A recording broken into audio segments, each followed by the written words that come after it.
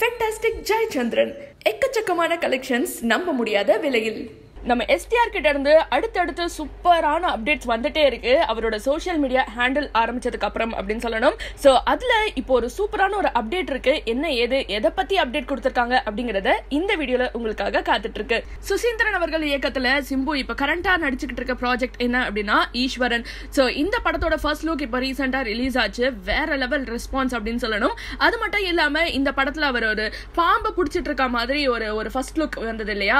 So அதை வந்து அந்த பாம்பு பிடிக்கும் போது எடுத்த அந்த வீடியோ கூட ரொம்ப வைரல் ஆயிட்டு இருந்தது அப்படின்னு சொல்லலாம். ஸோ இந்த படம் வந்து எப்போ ரிலீஸ் ஆகும் அப்படின்னு கேட்டதுக்கு பொங்கல் அப்போ ரிலீஸ் ஆகும் அப்படின்னு சொல்லிட்டு சொல்லியிருந்தாங்க. சிம்புவே வந்து கிளாரிஃபை பண்ணியிருந்தாரு அது. எஸ் பொங்கல் எனக்கு ரிலீஸ் ஆகுது அப்படின்னு சொல்லி. ஸோ இந்த படத்தோட டப்பிங் நல்லபடியாக முடிஞ்சிருச்சு அப்படின்னு சொல்லிட்டு ஒரு போஸ்ட் பண்ணியிருக்காங்க. அது மட்டும் இல்லாமல் இந்த படத்தோட டீசர் எப்போ ரிலீஸ் ஆகும் அப்படின்னு சொல்லிட்டு வெயிட் பண்ணிட்டு இருக்கும்போது தீபாவளி அன்னைக்கு ரிலீஸ் ஆகும் அப்படின்னு சொல்லியிருக்காங்க. சிம்புவே அவரோட அஃபிஷியல் பேஜ்ல இருந்து ஈஸ்வரன் டீசர் ஃபார் தீபாவளி அப்படின்னு சொல்லிட்டு போட்டிருக்காங்க. ஷூட்டும் கம்ப்ளீட் ஆச்சு. இப்போ டப்பிங்கும் கம்ப்ளீட் ஆயிருச்சு. சோ அடுத்ததா டீசருக்காக நம்ம எல்லாருமே வெயிட் பண்ணிட்டு இருக்கோம் இல்லையா? அண்ட் சிம்புவோட அடுத்த படம் என்ன அப்படின்னா மாநாடு படம். இதுக்கு தான் வேற லெவல் வெயிட்டிங் ரொம்ப நாளாவே வெயிட்டிங் இருக்கு. வெங்கட் பிரபு அவர்கள் இயக்கத்துல. படம் இந்த வருஷம் ரிலீஸ் ஆகும் அப்படின்னு சொல்லிட்டு இருக்கும் போது இந்த கோவிட்னால இந்த படம் வந்து ஷூட்டிங் பாஸ் பண்ணியிருந்தாங்க. அது நடுவுல இப்போ இந்த கோவிட்லயும் சீக்கிரமா முடிக்கிற மாதிரியான படம் தான் சுசீந்திரன் படம் ஈஸ்வரன். சோ இந்த படத்துக்கு அப்புறம் தான் மாநாடு படம் ரிலீஸ் ஆகும். ரொம்ப எக்ஸைட்டிங்கா இருக்கு அப்படின்னு சொல்லலாம். ஏன்னா அடுத்தடுத்த அபிஷியல் கன்ஃபர்மேஷன் அடுத்தடுத்த ப்ராஜெக்ட்ஸ்க்கான டேட்ஸ் ரிலீஸ் டேட்ஸ் இந்த மாதிரி ஷூட்டிங் டேட்ஸ் இதெல்லாம் வரும்போது ரொம்ப சந்தோஷமா இருக்கு சிம்பு சைட்ல இருந்து. ஸோ சோஷியல் மீடியா ஹேண்டில் பொறுத்த வரைக்கும் சிம்பு வேற லெவல் ஹேண்டில் பண்றாருங்க.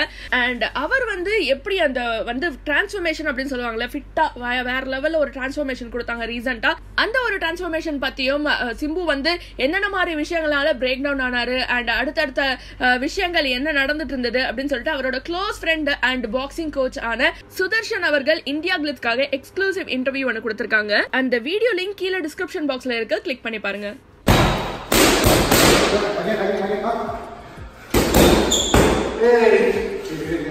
சில பேருக்கு வந்து ஒரு கோவத்தினால பண்ணுவாங்க. சில பேருக்கு பிரேக் டவுன்னால பண்ணுவாங்க. இவர் பண்ணது எதனால அப்படின்னு ஷேர் பண்ணியிருக்காரு இவங்க யார் என்னை பற்றி அவங்க பேசுறதுக்குன்னு ஒரு அவரோட மைண்ட் தாட்டில் என்றைக்குமே இருந்திருக்கு. என் லைஃப் நான் நான் யாருன்னு எனக்கு தெரியும். நான் பண்ணுறேன் எல்லாருக்கும் நான் காட்டுறேன். அப்படின்னு பண்ணாங்க.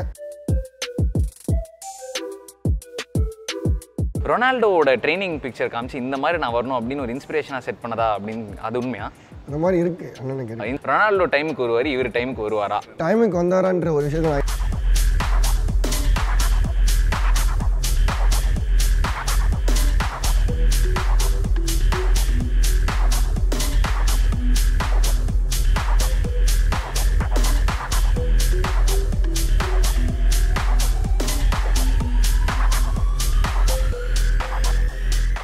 அகாடமியை சுற்றி வெளியே பார்த்தா பார்ப்பாங்க கேட்பாங்க. இவர் வந்து அவங்கள்ட்ட போய் பேசுவார். ஒரு டுவெண்ட்டி மினிட்ஸ் தேர்ட்டி மினிட்ஸ் பேசுவாங்க. ஆனால் ஃபோட்டோ மட்டும் வேணாம். ஒரு ஷூட்டிங்காக இருக்கேன் அப்படின்னு சொல்லிட்டு. ஏன்னா டிரான்ஸ்ஃபர்மேஷன் காட்ட தேவையில்ல. வந்தா ராஜாவா தான். அதே கதை தான். சைன் பண்ண சில டிரெக்டர்ஸ் திடீர்னு அவர் வந்து இப்படி ஒரு டிரான்ஸ்ஃபர்மேஷன் அவங்களே எதிர்பார்த்திருக்க மாட்டாங்களா? அது எதுவும் ஷேர் பண்ணாரா?